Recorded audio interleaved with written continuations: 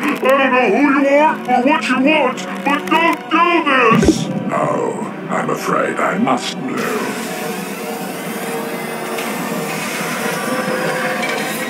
Ah, what is that stuff? A little chemical concoction made just for you. Enjoy! Wait, no! No!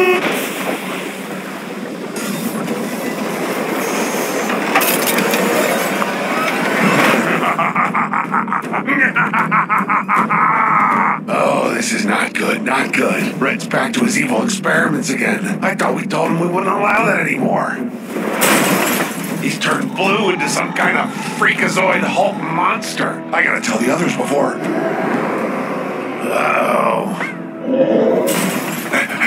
That was a close one. I was almost a goner.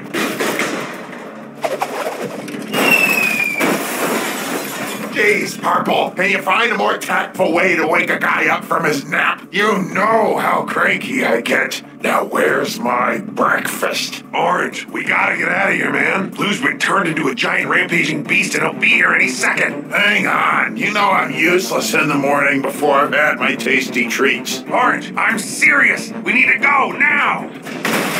Whoa, is that me? Purple?